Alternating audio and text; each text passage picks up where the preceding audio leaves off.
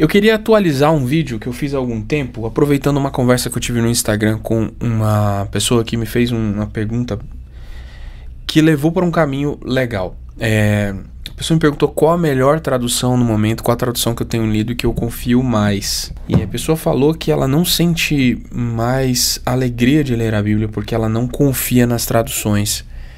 Que ela tem essa desconfiança leva a perder paixão pela leitura e assim a leitura da Bíblia ficou como é que eu vou dizer, sem sabor para a pessoa. É mais ou menos isso, né? Ficou uma. Ela lê menos a Bíblia e hoje desconfia das traduções. Eu não sei se todo mundo passou por isso, mas no momento que a gente começa a discutir muito tradução e, e fonte, e etc., e, e se aprofundar na ideia dos, dos manuscritos e quais são os que são mais confiáveis, quais são menos, formação do cânon, todos esses assuntos, dependendo de quem discipulou você, se ele te contou ou não esse segredo que eu vou revelar no final do vídeo, né? Estou usando técnicas aqui de retenção de atenção. Esse segredo que eu quero contar para vocês é a parte mais importante de escolher sua tradução. Mas eu também vou aproveitar para atualizar e mostrar as Bíblias que eu tenho usado. E diferente daquele vídeo que eu fiz anteriormente, que é mostrei muitos conteúdos, hoje eu quero mostrar só três. Essa aqui é a minha NAA de uso com a igreja. Ela é uma Bíblia que eu escolhi não pela capa de jovem que ela tem. Você pode olhar e falar assim: "Nossa, que Bíblia top". E eu não estou usando essa Bíblia aqui amarela com essa capa top, porque eu sou jovem e gosto de coisas tops. E, na verdade, eu nem gosto de coisas tops assim. Eu sou um cara que rejeita um pouco essa iconografia leonina. Aprecio o seu significado, porém rejeitaria se assim pudesse. Mas é que essa Bíblia aqui, ela é da sociedade bíblica. Ela tem um miolo muito confortável de ler. A letra não é grande demais para fazer aquela Bíblia, sabe, calhamaço. Mas ela não é muito pequenininha e a diagramação dela é bem arejada. Então, por causa disso, eu escolhi essa Bíblia aqui. A diagramação dela, para mim, assim, é mais confortável, é mais gostosa de ler. E é uma Bíblia que eu tenho mastigado. Assim, vocês vão ver que os livros que a gente usou nesse ano, eu comprei essa Bíblia esse ano, elas estão. Ela tá assim. É, vamos dizer que ela não é mais a mais bem cuidada das Bíblias, porque normalmente eu faço isso com as Bíblias e os livros que eu estudo. Eu mastigo e depredo, porque eu nem uso assim, às vezes as anotações que eu faço na, na sinopse, no, no, né? Porque eu faço tantas anotações na margem da Bíblia, especialmente quando são pregações expositivas. Na maioria das vezes dá certo usar a Bíblia para anotar as coisas, mas ela acaba ficando num estado péssimo. Essa aqui tem um bom acabamento, folhas adequadas e é um bom, é um material relativamente durável, porque eu submeto essa Bíblia a maus tratos muito é, substanciais, assim. Ela fica na capa do violão, porque eu tenho que levar um monte de coisa. Eu coloco ela na capa do violão e guardo ela, ando com ela para todo lado, deixo no carro e, e, e, eu, todo mundo sabe, deixo no painel do carro e o calor descola as coisas. Essa aqui tá sobrevivendo.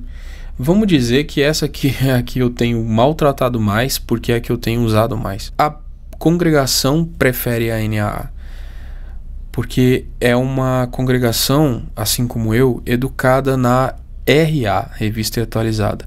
A NAA é a versão mais nova dessa mesma linha de traduções que a Sociedade Bíblica produz, João Ferreira de Almeida.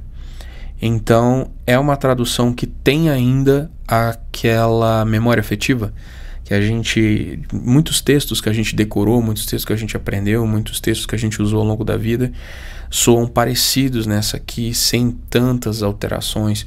É, períodos de transição exigem que você se apegue a alguma similaridade. Muita coisa da teologia da nossa igreja tem sido reformada, tem sido revista. Se a gente alterasse também de maneira drástica a tradução da Bíblia, poderia ser um, um choque para irmãos com um pouco mais de idade, um pouco mais de, de conceitos um pouco mais cristalizados. Então a gente tem preferido usar uma tradução, uma tradução que é familiar. A gente já vinha nesse movimento de usar a NAA desde o que, uns quatro anos. É, depois que ela foi lançada, a gente já começou a aos poucos ir acrescentando e, e preferindo usar a NAA. A nossa congregação tem uma tradução é, preferida, embora não seja a tradução é, exclusiva e a gente use outras versões. Eu, por exemplo, gosto muito da NVT. E eu estou usando essa NVT aqui é, porque ela tem a letra maior. De novo, eu me importo muito com a diagramação e com o espaço entre letras, o espaço entre linhas. Essa daqui tem realmente a letra maior, você pode ver que ela tem um letrão. Então ela é mais confortável para ler. É, não tá tão mastigada quanto a outra, porque ela é mais nova que a outra. E é, é um pouco difícil achar NVTs uh, por aqui com capa dura. A maioria é capa mole. E não é uma assim, capa mole não é um negócio que vale a pena na Bíblia. A Bíblia é uma ferramenta de trabalho que você vai usar muito, consultar muito. Não é igual um livro que você vai ler uma, duas, três vezes. E até mesmo um livro de consulta você retira da estante e põe de volta. Retira da estante para a Bíblia não. A Bíblia você supõe-se que um cristão use a Bíblia diariamente e pegue a sua Bíblia com a mão mais ou menos limpa em alguns momentos e leia na mesa da cozinha, depois leia no escritório, depois deixa no capô do carro, na, na no painel do carro pegando sol e depois você vai para um lugar e vai para outro e põe na capa do instrumento e põe na mochila. Mochilas são excelentes para destruir sua Bíblia, assar as páginas, dobrar os cantinhos.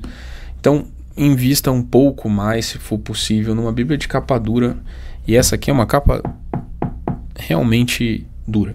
Essas são as Bíblias que eu tenho usado diariamente, digamos assim. E tem uma Bíblia que eu gosto muito de ter e de ler, e é a minha Bíblia de escolha para leitura sequencial, digamos assim, para uma leitura especial, sequencial especial, que é essa aqui. Eu já mostrei no, no último vídeo essa Bíblia em ordem cronológica da, da editora da editora Vida. Tirando o, o, o elefante da sala, né, que nem todo mundo concorda com uma tradição cristã dispensacionalista, essa Bíblia tem esse, esse, essa escolha, digamos assim, mas interfere muitíssimo pouco é, nas decisões que os irmãos tomaram a respeito de como eles colocam seus, seus trechos nessa ordem cronológica. Então, por que, que eu gosto muito dessa Bíblia? Ela é excelente para formar em você a ideia de como os fatos bíblicos aconteceram e isso é bem legal para compreender a história da salvação, compreender a evolução do povo santo. Talvez isso não interfira tanto no Novo Testamento, mas na ideia do Antigo Testamento, isso realmente faz diferença. Compreender que Jó é antiquíssimo, compreender os momentos em que os salmos foram escritos, né? Embora não seja 100% de precisão, mas há uma boa indicação de quando foram escritos, baseado na tradição judaica, etc. Então, te dá uma leitura muito legal, muito fluida. Eu vou comparar, guardadas as devidas proporções, quando você lê Senhor dos Anéis e você vê o cântico, as canções dos anões, as canções dos elfos, as canções dos hobbits sendo entoadas perto dos, dos fatos. Essa leitura de Salmos é parecido com isso. Se você é um nerd como eu, você vai entender do que a gente está falando. Eu realmente aprecio essa Bíblia. Tanto que eu comprei a versão mais luxuosa, porque eu queria guardar. Ela não é uma Bíblia fácil de encontrar hoje em dia, pelo menos eu tenho dificuldade aqui em Brasília de encontrar. Eu tinha a versão dela é, de capa mais simples e eu doei. Eu dava muito as minhas Bíblias, as minhas anotações iam junto, e isso me causava algumas perdas. Às vezes eu quero lembrar alguma coisa, eu anotei na beirada da Bíblia e, enfim. Às vezes eu anoto datas, às vezes eu anoto eventos e eu perco esses registros. É, com relação à tradução, eu gosto muito da NAA por causa da familiaridade. Eu gosto muito da NVT por causa da, do entendimento mais geral. Eu gosto da NVI porque ela. Não estou falando da NVI mais moderna, ainda não tive um contato suficiente para com a última, né, de 2023, mas essa aqui é, é a anterior. E eu gosto muito de como ela consegue juntar um, uma, um estilo formal e um acesso, né, uma linguagem acessível. o que é muito difícil. Toda tradução, ela é uma interpretação e isso talvez cause para a gente essa dificuldade que algumas pessoas relatam de qual é a Bíblia que eu devo ler, qual é a Bíblia correta, qual é a tradução correta. E isso pode levar até a questionamentos e esfriar um pouco a sua paixão pela leitura quando você começa a se perder nessas discussões. Há um livro muito especial que eu gostaria de recomendar e chama uh, Uma Glória Peculiar. Ele é um livro do John Piper. E se você se sente um pouco desencorajado na leitura da Bíblia, se sente um pouco desanimado, especialmente se você está preso nesses conflitos, leia Uma Glória Peculiar do John Piper. A Bíblia, como palavra de Deus, como livro sagrado, ela, ela tem um atributo dela que é só dela que é o Espírito Santo lendo junto conosco, ministrando ao nosso coração. A unção, 1 João fala disso, que é verdadeira, não é falsa, que nos ensina a respeito de todas as coisas. Quando nós estamos compartilhando daquilo que é saudável na verdade bíblica, né? Essa unção não é um sentimento do seu coração, mas é ela é a autoridade, a aceitação por parte do Pai a nosso respeito que nós temos por estarmos ligados a Cristo, por causa da obra da cruz, por causa da cobertura que nós temos da justiça de Cristo sobre nós, então nós temos acesso a um conhecimento que é verdadeiro e não é falso, que nos ensina a respeito de todas as coisas pela ação do Espírito Santo que nos, nos elucida, nos ensina, nos doutrina sobre aquilo que é verdadeiro e não é falso. A leitura da Bíblia, ela não é igual ler um outro livro. Por mais que você seja um intelectual, um acadêmico e deseje se deter nas minúcias e nas dificuldades de tradução e etc., o leitor menos escolado, menos acadêmico, menos academicista, ele também pode entender as escrituras como os homens mais doutos entenderam, embora com menos recursos, porque o Espírito Santo nos capacita a entender aquilo que é prático e aplicável da palavra conforme nós lemos, e a ter adoração e desfrute e graça e glória e alegria e todas essas coisas. Diferentes tradições cristãs vão preferir uma tradução a outra. Escolher uma tradução, digamos assim, principal na igreja é importante por causa da leitura pública. Para você ler junto a Bíblia com os irmãos e eles lerem junto com você e a gente ler como uma só voz e, e fazer essa leitura pública no culto como uma exaltação da palavra, uma glorificação da palavra, uma declaração da biblicidade da do apego que nós temos à escritura e também porque é uma ordem, né? Paulo ordena a Timóteo que ele continue fazendo a leitura da escritura, que ele faça a leitura pública da escritura nos cultos. Isso é uma prática que não é tão vista hoje em dia, mas que é fundamental. Então, ler a Bíblia com os irmãos, levar os irmãos a ler a Bíblia. E mais, entender a Bíblia por si mesmos e não se tornar dependente de você no assunto de interpretação. Mas isso é uma coisa que eu quero falar em um outro vídeo. Então, pesquise qual é a tradução que te faz mais sentido naquele momento, leia e depois que terminar essa leitura, procure outra e leia outra. E depois de ler essa outra, leia mais uma. Não vá para a Bíblia com um coração desconfiado. Vá para a Bíblia com um coração confiante. Com um coração grato a Deus, porque muitos irmãos batalharam muito para que essas traduções chegassem até nós. E mais do que isso, no passado, esse livro causou a morte de muitas pessoas e causa até hoje o sacrifício de muitos mártires que deram a vida para que a palavra chegasse até nós, ela tem o que é seguro a respeito de Deus. Não é o nosso entendimento, não é a nossa visão, não é uma revelação de um anjo ou de qualquer coisa que te mostra a respeito da natureza e identidade de Deus, do Deus que você serve e você adora. Mas é a palavra. Deus se revela como palavra, Deus nos criou como o povo do livro. Nós somos o povo que segue o livro. E se nós obedecermos ao livro e tivermos o livro como nosso formador de cultura, não importa se eu sou brasileiro, se há um irmão que é americano, se há um irmão que é francês, um irmão que é chinês, nós vamos compartilhar a maior parte dos entendimentos. E nós vamos praticar a, a imensa maioria das ordens e dos mandamentos de maneira semelhante, de maneira que nós seremos entendidos como o povo de Deus a partir daquilo que o livro nos ensina. Rejeite esse, essa dúvida no seu coração. Rejeite essa desconfiança e se aproxime da palavra com simplicidade e humildade. Não esqueça de orar antes de ler a Bíblia, de pedir a Deus que dê a você, como Paulo fala, o espírito de sabedoria e de revelação, para que você tenha um entendimento completo da graça de Deus que está revelada aqui. Esse aqui, cara, você é filho de Deus, essa aqui é a declaração do que, que você tem acesso, qual é a sua herança você deve conhecê-la. Essas são as três Bíblias que eu queria apresentar. Então, fala assim, Davi, essas são todas as Bíblias que você tem? Não, cara, realmente não. Aqui é a minha estante de trabalho. Então, essa pilha, deixa eu conseguir apontar aqui, ó, essa pilha aqui é uma pilha de Bíblias. E aqui em cima, aqui em cima onde você não pode ver, tem mais algumas.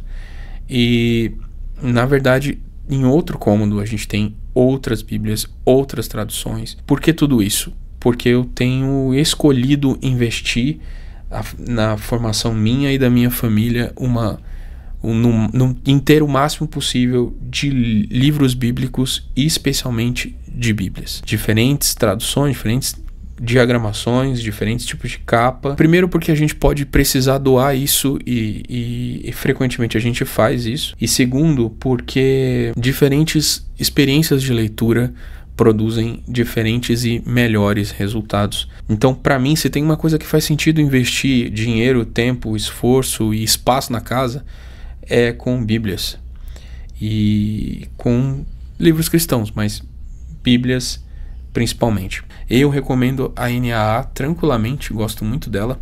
Recomendo a NVI tranquilamente e gosto muito da NVT também.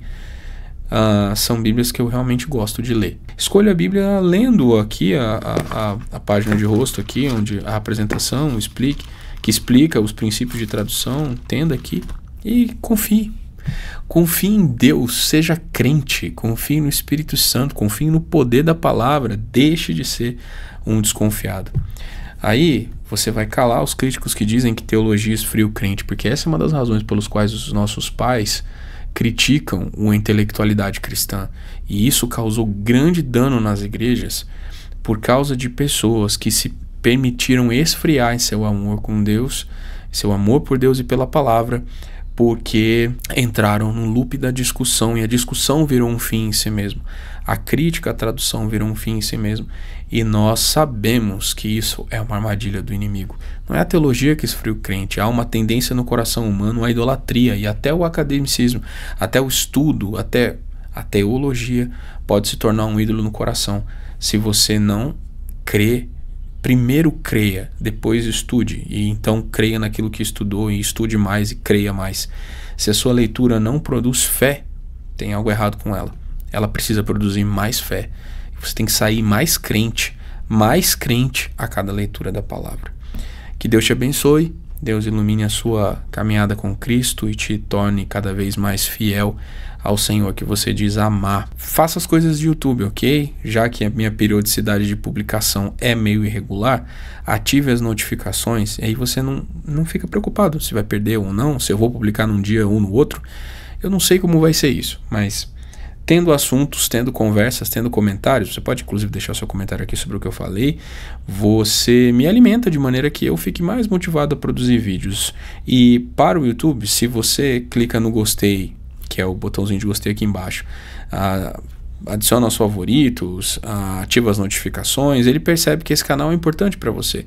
Então ele vai sempre mandar os meus vídeos para você e te mostrar quando eu publico as coisas. Mas se você quiser de fato me mandar uma mensagem ou conversar alguma coisa, o Instagram é o melhor canal para isso. Ainda estamos estudando outras formas de transformar o que a gente produz aqui em uma comunidade de santos e fiéis que buscam a Jesus, que o seguem como seus discípulos e servem a igreja. É o que eu realmente quero que você tenha a experiência de viver. Ame a Jesus e sirva a igreja. Um abraço, até o próximo vídeo. Vá ler a sua Bíblia.